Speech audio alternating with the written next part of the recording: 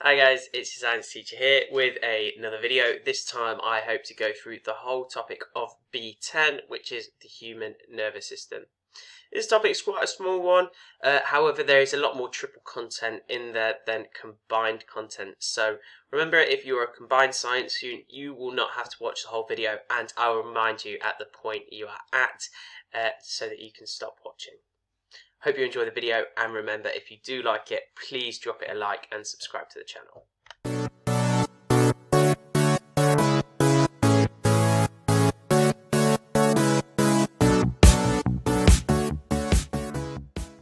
The topic of the nervous system falls kind of in a subcategory of the whole topic of homeostasis. So to start this uh, video off, what we're going to look at is what homeostasis is, and why it's important. In a nutshell, homeostasis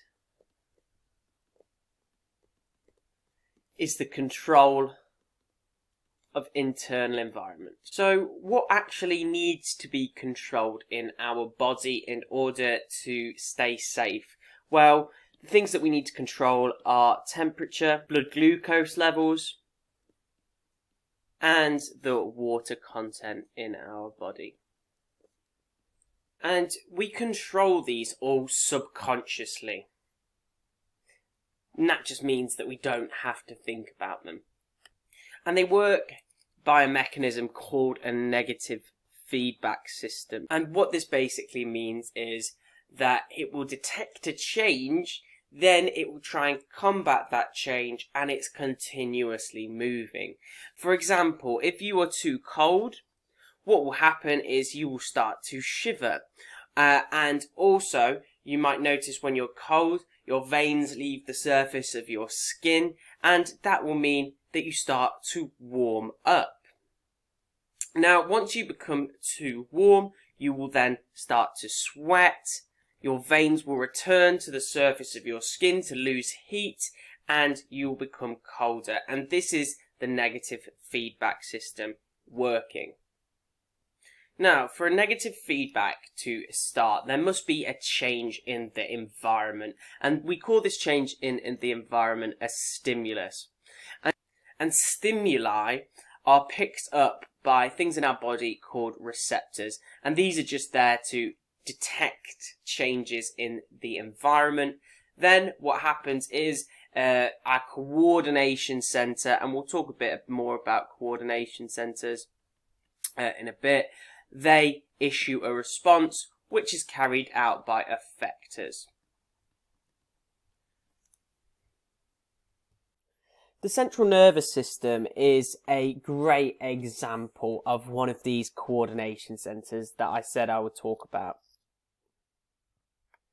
And it basically works on the principle of once we've detected a change of environment through our receptors, how do we elicit what response we are going to make? How do we get it to the brain where we can coordinate what response uh, we should take? So once a change in, in the environment has been detected by the receptors, what we need to do is we need to turn that into an electrical signal. And electrical tr signals travel through the body through neurons. And these pass on and carry electrical signals. Now, our body is made up of two main types of neurons. The first one is sensory neurons. And the sensory neurons are attached to the receptors. And the sensory neurons carry the electrical signal to the spinal cord. And the spinal cord then sends this signal all the way up it to the brain. Now, once it's reached the brain, the brain creates a response. And that response is, response is uh, called your reaction time. You can actually carry out reaction time uh, tests using a ruler. Uh, if you want to learn more about how to carry out a reaction test, uh, refer to my required practicals video for paper two and reaction times is one of them required practicals. But once your brain has figured out a response, it needs to send that signal back to the effectors. And that signal is carried by motor neurons, the other type of neuron, and before being sent to the effectors where that response is carried out. And that response could be, for example, shivering, it could be muscles uh, that are told to shiver, for example. There are things that can lower our reaction time and make our brain act a bit slower. For example, uh, you might drink alcohol or uh, you could have other depressants such as cannabis, which would uh, slow your reaction time down. You can also increase your reaction time though by taking stimulants such as caffeine, which can make your brain work a bit quicker and increase your reaction time. So we know now that electrical signals are passed through our body through electrical signals with our neurons. But what happens when we get to the edge of a neuron and it needs to pass that information on to another neuron? We get a gap, and that gap is called a synapse. And just simply is a gap between two neurons. But how does the electrical signal travel between the gap? Well, what happens is that electrical signal is turned into a chemical signal. Before being turned back in to an electrical signal. And the reason why synapses do this is because it makes the system a lot more quicker. Now synapses are really cool and you can go into lots of depth at describing them. However, for your GCSEs, this is all you need to know. What happens if your body doesn't have time to send the electrical signal all the way through the central nervous system to the brain and get the brain to think about it to elicit your response? Well, it can bypass the whole system, and these things are called reflexes. And you've probably had a, a lot of reflexes before and experienced this yourself. Maybe you've lifted a hot plate out of the oven before and noticed that you dropped the plate and you didn't think about it, uh, but that happened because your reflexes told you to drop it. Um, and the way that these reactions happen, an example could be a pin pricking your skin here. It travels through the sensory neuron just like last time. This time it hits the spinal cord though and doesn't go up the spinal cord to the brain. So it decides not to do that. It skips that out, goes through to the motor neuron and back to your effector. So if you have a real quick response, it misses out brain. So you don't have to think about these responses. And the key reason for this is because it's a lot quicker to do so. If you are doing combined science, you can stop there. Well done for watching so much of the video. If you are doing triple science, there is only a little bit left for you to watch. And the first bit of this is looking at the brain. And we now know that the brain can be split into different parts as shown in this diagram. However, this was not always the case. It took until around the 1860s for scientists to actually start to think that the brain is split into different parts. We knew that the brain was part of our central nervous system because of the fact uh, in the early 18th century, scientists had electrified different parts of the brain and it had showed that muscles would contract when you had done so. However, it was not understood that the brain was separated into different parts until around 1860, when a man called Phineas Gage, uh, he had an iron rod that went through his brain and he was obviously expected to die from this. However, he survived. And that was because of the fact that the part of the brain uh, that controls movement and things like that that wasn't damaged and he could still speak because the part of the brain that controls speech wasn't damaged. Um, and this made scientists think, ah, the brain must be divided into different sections if he can still carry out these roles even though he has had a metal bar through his head. We now know what the different parts of the brain actually control as well. For example, the main bulk of our brain is called the cerebral cortex and the cerebral cortex controls all of our conscious thoughts. And that's why our human brains are so large is because of the fact it's mainly made up of the cerebral cortex and that's the main difference between human brains and animal brains a lot of the time is our cerebral cortex is a lot larger. And down here we have the medulla which controls all of our unconscious thoughts. So it controls things like our heartbeat or breathing.